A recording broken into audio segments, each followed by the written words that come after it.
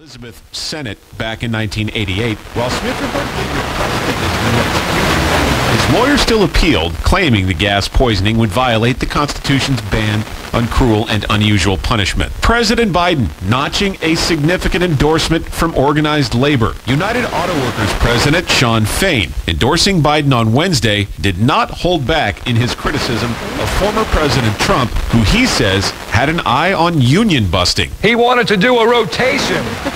Workers would be begging for their jobs back. Giving her the rest. Fain credited Biden for becoming the first sitting U.S. president to join workers on the picket line. I'm Ryan Daniels, USA News. Welcome to Breakpoint, a daily look at an ever-changing culture through the lens of unchanging truth. For the Colson Center, I'm John Stonestreet. For some time now is that women, as a group, tend to fall to the left of men politically. Now, one factor behind this striking divide in politics between the sexes is the left's obsession with condemning the so-called patriarchy or toxic masculinity. Many young men hear this as a condemnation of their very existence. Similarly, the leftward lurch among women could have something to do with the perception that abortion's only a women's issue and the increasingly hysterical warnings that restricting abortion in any way is the equivalent of subjecting women to handmaid's tale type reproductive slavery.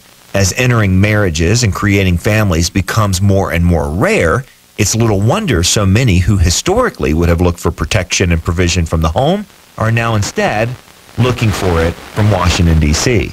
In other words, the wedges that radical feminism, the sexual revolution, and the breakdown of the family have driven between the sexes are most likely the main reason for this growing political divide.